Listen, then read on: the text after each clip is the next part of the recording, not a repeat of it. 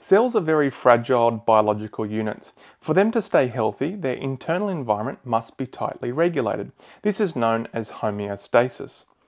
Sometimes these cells will encounter physiological or pathophysiological stresses, such as an increased or decreased workload or increased exposure to harmful chemicals, such as smoking. So these cells will need to adapt to these stresses to survive. Some of the ways they can do this is hypertrophy, hyperplasia, atrophy, or metaplasia. I've done a video on that, so please watch that if you haven't already. Now, if this adaptive ability of the cell isn't sufficient, or the stressor is too strong or produced for too long, this can lead to cell injury. Now, other more direct ways of cell injury is known as injurious agents. A way you, you can remember these injurious agents is the term hating. Now, your cell will be really hating these things because these will lead to cell injury. So what does hating stand for? Well, firstly, H is for hypoxia. Hypoxia or ischemia is a reduction in blood flow or oxygen to cells, which will cause injury. A is for aging. So as we age, our ability to adapt reduces and more likely to lead to injury.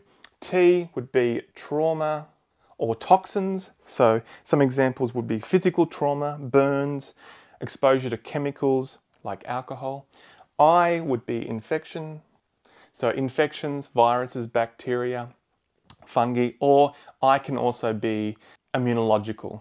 So this would be autoimmune or hypersensitivity disorders that lead to injury.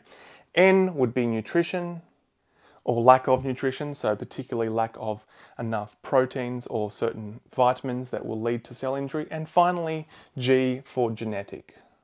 And this where you may have abnormalities in genes that code for proteins, such as the, the protein for chloride channel. And this leads to a problem in chloride regulation seen as cystic fibrosis. So these are the most common agents that cause cell injury. If these are removed, the cell injury can be reversible and it can go back to a normal homeostasis. However, if these agents prolonged or very severe, it can lead to an irreversible injury, and this is where disease will ensue. The two types of irreversible injury are apoptosis and necrosis. Mike has done a video on that, so I encourage you to have a look.